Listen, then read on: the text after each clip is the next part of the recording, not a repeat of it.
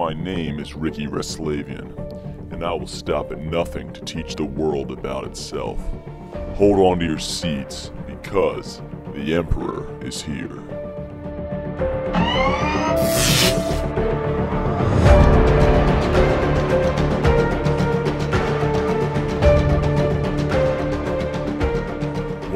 Back to the Emperor Resslavian Studios, where today we will be t- tackling the topic of the culture of ancient Greece.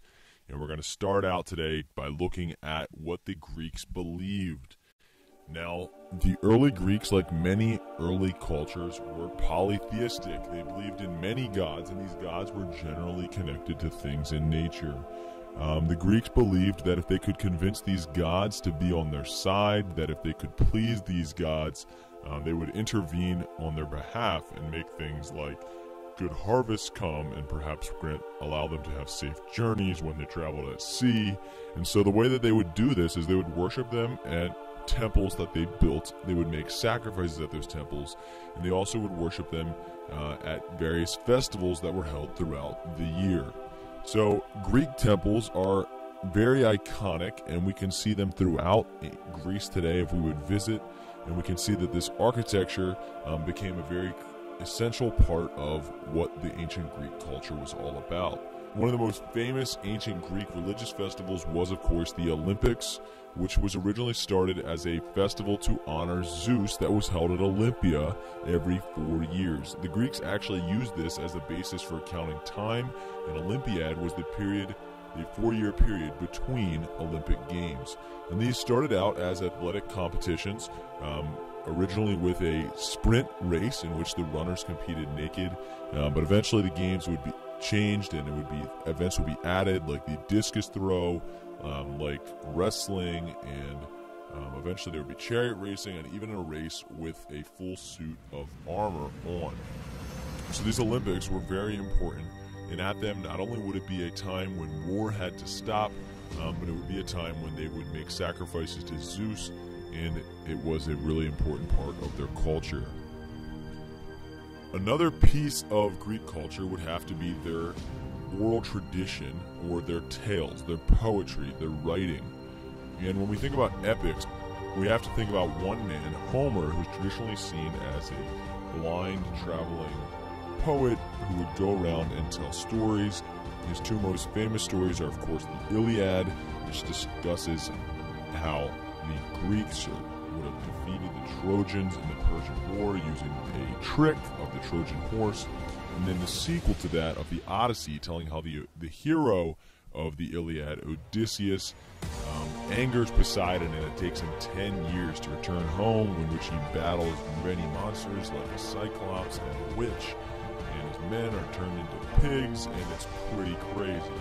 Another very important person when we talk about Greek literature is this man, Aesop. Aesop is traditionally seen as a Greek slave who told fables or a short story that was intended to teach a lesson. The moral or the lesson of a fable was the most important part, and many of these fables are an important part of our culture today, like the ant and grasshopper, the tortoise and the hare, and the wolf in sheep's clothing.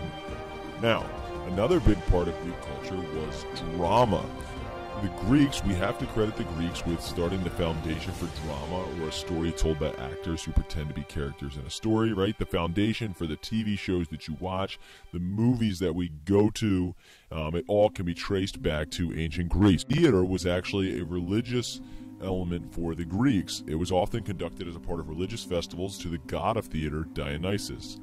And so Many times throughout the year, they would hold um, theatrical festivals in which playwrights would compete. Now, Greek theater looked a little bit different than what you might, you and I might imagine when we think about a play.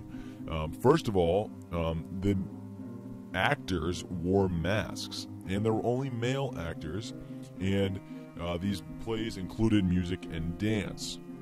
And so, um, the Greeks developed two main types of theater tragedy, um, which of course had to have been a very sad play, but it was the ultimate sad play, a play in which the main character has flaws within himself. He struggles to overcome them, but he ultimately fails, and oftentimes he and many people in his life around him will ultimately die. Comedy, on the other hand, was the Greek Soul as any drama that had a happy ending. Now, whether it was comedy or tragedy, these plays looked different than the plays you and I might imagine. The earliest Greek plays basically were a collection of people known as a chorus that would chant or sing or tell a story along with music until we had the first actor, Thespis, step out of the chorus and begin to take on a character of his own. Then these early Greek plays were filled with one actor and a chorus. Now, that does not sound very exciting to you and I, perhaps, but this one actor could change masks, they could take on the role of characters, and there could be dialogue between them and the chorus. Now, early Greek theater also usually uh, had some bigger themes behind it, like perhaps what is the nature of good and evil, what kind of rights does humanity have, what role does religion, what role do the gods play in our lives. And today we're going to meet um, three tragedy writers that are perhaps the most famous playwrights in all of ancient Greece. Um, I call these three people, since they wrote tragedies, the Sad Boys Squad. The first one is Aeschylus, the second one is Sophocles, and the third one is Euripides. And together, these are the three most famous tragedians uh, of ancient Greece. You'll notice they all have matching I Love Tragedy tattoos. So each one of them also was incredibly revolutionary. Aeschylus was the first playwright to use two actors. He introduced costumes and props, things that we would assume would be basic today. And his most famous play is Oresteia, which the basic premise or the moral of it that is if you are mad, you should not seek revenge. Now Sophocles comes along and expands the game even further. He adds up to two or even three actors. He even paints scenes behind the, the actors. And Sophocles is most famous for the play Oedipus Rex and the sequel to that, Antigone, in which we have the ultimate tragedy in which our main character, Oedipus, accidentally kills his father and marries his mother, at which the end of the play he discovers this flaw in his life, and at the end he gouges out his eyes. Talk about tragedy, that is Sophocles.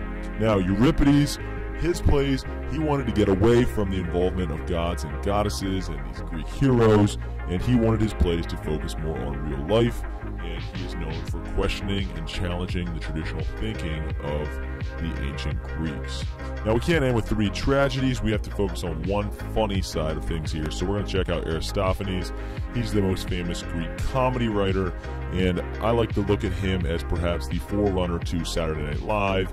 He makes fun of politicians, scholars. He wants his viewers to have to know what's going on in the world around them to get his jokes. He wants them to be able to expand their minds with his humor, and his plays were very funny. Now, the Greeks not only had amazing playwrights, they also had amazing engineering to celebrate this theater. Theaters were built all around the city states of ancient Greece. The most famous is the Theater of Epidaurus, in which was constructed so perfectly to have perfect acoustics that you could hear a coin drop in the center of it if you're in the back row. And it is someplace you can go, still go visit today. Now let's take a look at more traditional types of art, you know, painting of pottery, sculpture. Um, the Greeks were experts at that as well. When we talk about Greek, Greek sculpture, we have to think about this discus thrower, um, which is the, probably the most famous example of Greek sculpture. Greek artists loved the human body, they loved to use it uh, in their art, and they tried to make humans out to their ideal selves. All Greek art attempts to show reason, moderation, balance, and harmony, and this was something that they hoped to express not only in pottery or paintings, but also in architecture. And so when we look at these grand temples of ancient Greece, which we've already discussed, the Parthenon, um, these temples also attempted to express those characteristics. Now, Every temple in ancient Greece had a walled room known as a cella in the center, which contained a statue of the god that it was worshiping. And they generally had large columns supporting the building around the outside. And we had sacrifices made um, on altars at the temple as well.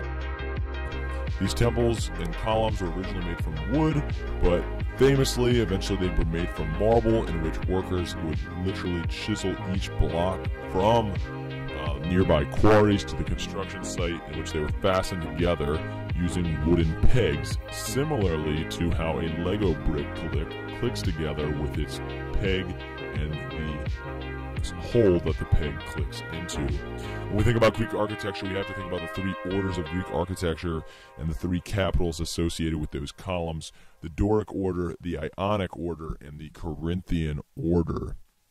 Um, we can see them pictured here, and they are perhaps the most important part when we think about Greek art and architecture. Well, before we wrap up this episode, it's time that we go to the place of honor, and this week I would like to honor the comedy and tragedy mask.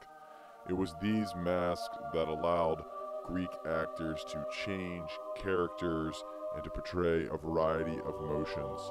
And just for the sake of demonstration, I will be demonstrating how one character could change their image and their perspective by wearing a mask. Clearly, we can see how their emotions would be demonstrated through this mask. I'm sad. Now I am an extremely happy character. So let's give it up to the Greek comedy and tragedy masks.